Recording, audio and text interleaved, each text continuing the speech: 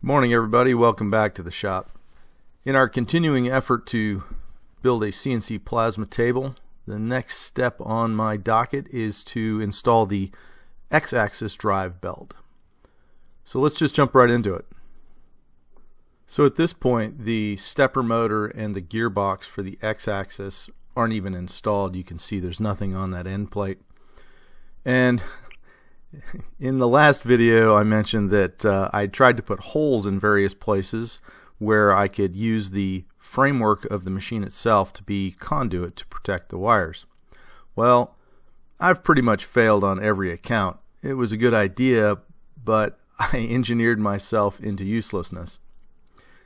Say good morning, Valor. I'm starting by bolting on the motor mount for what would either be a stepper motor if it was a direct drive, or in this case, I'm using a 10 to 1 planetary gear step down. Um, and you can see it immediately covers up that hole. So, good idea, big fat fail. With the mount installed, now I can put the gearbox on and we can proceed forward. I apologize, I keep stepping in front of the camera. It was uh, obviously a less than optimal place to put it. So this is the gearbox unit and kind of like I'm doing with the Z-axis, I cheaped out.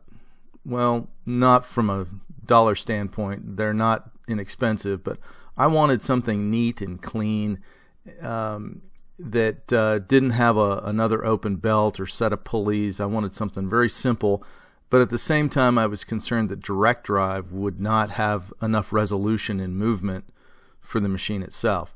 Now, that's a concern that as of yet is unfounded, and it's something we can play with. Uh, at some point, I can take this uh, planetary gear unit out and see if a direct drive right off the stepper with um, the driver set to quarter step increments would be enough. I chose a planetary gear setup because it came in a nice neat package, but also because planetary gear setups like this have very very little backlash. I really I don't think I'd be too afraid to try this on a router even. Definitely more than accurate enough for a plasma table. There's going to be more loss of accuracy in belt drive than there will be in this planetary gear. So one of the complications I've run into with my design is that I've used big stepper motors, NEMA 34s, and their requisite components in the case of this planetary gear, and a fairly small belt drive specification. So for everything, I'm having to bore out the hole in the different cogs and things like that, and no exception here. So after taking some measurements, the first thing I did, as we learned in the last video, was I popped off the pressed on shoulder, made that go away real quick, and then into the lathe I went where I bored it out and made it fit.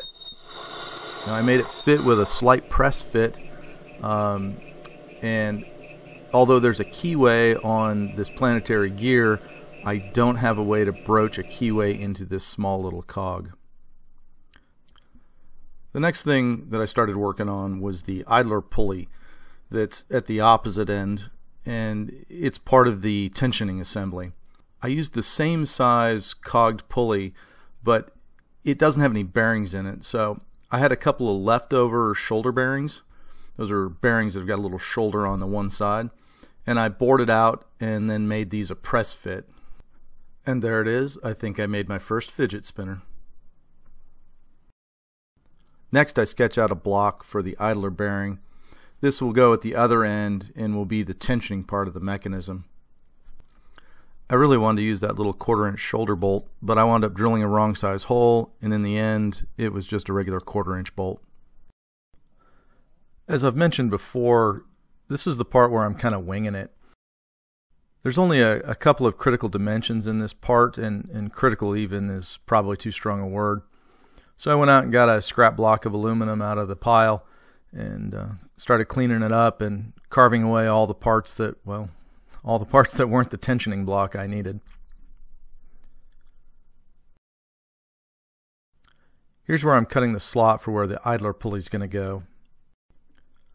I wanted this to be a, a pretty close fit, so I make a couple of passes, and I was reading the DRO at this point, and sure enough, fit fine.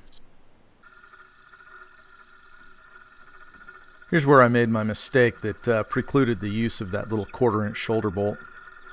Uh, for some reason, you know, I had quarter inch on my mind, and so I took a number seven drill and drilled all the way through, and then came back and followed up with a quarter inch hole on just one side for the shoulder. When I did the test fit of that quarter inch hole and the shoulder bolt fell all the way in, I realized, oh crap, quarter inch shoulder bolt like this has got a 5 16 thread. Oh well, it's going to be quarter inch now. So over to the tapping fixture I went and I blew in a quarter inch hole. So let's talk about tapping real quick. Um, I use this fixture whenever possible because it's quick and it's easy. Uh, it was originally purchased by my father after he'd had a stroke and he couldn't hold pieces as steady. Um, super handy, but not necessary. You don't have to have one of these. So, so this next hole I'll do in a more traditional manner. This is the back of the tensioning block where I need a piece of quarter inch threaded rod that'll pull the entire block back, tightening up the belt. I started by drilling a, a number seven hole, and then with that done, I took it over and just put it in a vise. I use a little cutting fluid, and then this alignment block that my father made long before I was born. I hold it on top and carefully thread the tap in using a tapping handle. That's all there is to it. The tapping fixture is just a nice convenience. Next, I turned my attention to making a way that I could rigidly attach the belts to the X-axis trolley.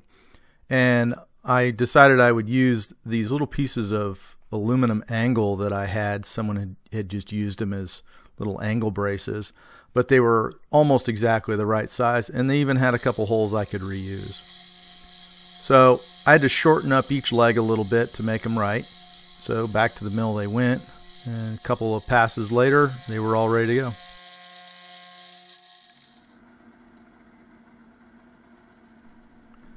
This is the x-axis carriage. And what I'm doing is I'm drilling for a couple of more threaded holes, of course, that are going to hold that anchor point on that I just milled out of angle iron. So this is where I'm going to show you the third way that I do most of my tapping. And it's another way that uh, just about anybody can do. And the only thing about it is if you're going to screw up, you screw up faster. So just like with hand tapping, I used the guide block. I used a good tap, a little oil. But this time, instead of putting the tap in a tap handle, I put it in my cordless drill. Put it on low speed and run it in the thing about this is you lose the tactile feel of how the chips are cutting. And depending on the tap you use, backing up and breaking the chip is more or less, but always to some degree important. So if you keep that in your mind and just do it as a matter of course, that helps. Also, keeping it straight with a guide block reduces my risk of catastrophic failure. To create the clamp on the back of the anchor point, I used a piece of half inch square aluminum stock. Drilled a couple holes, tapped a couple of holes, and that's all it takes.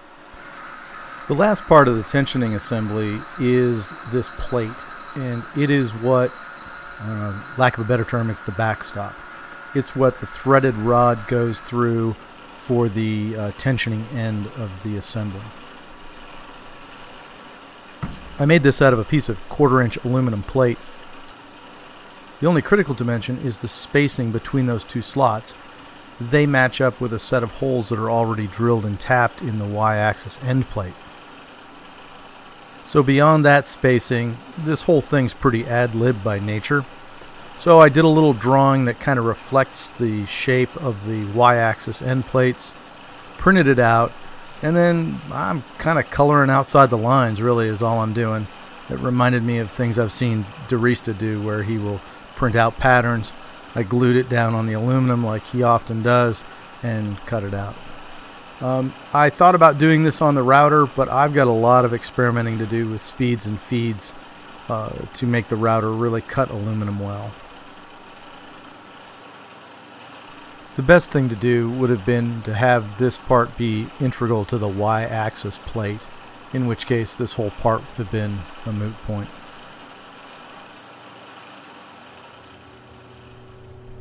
And with that part completed, the only thing left to do is string the belt and put some tension on.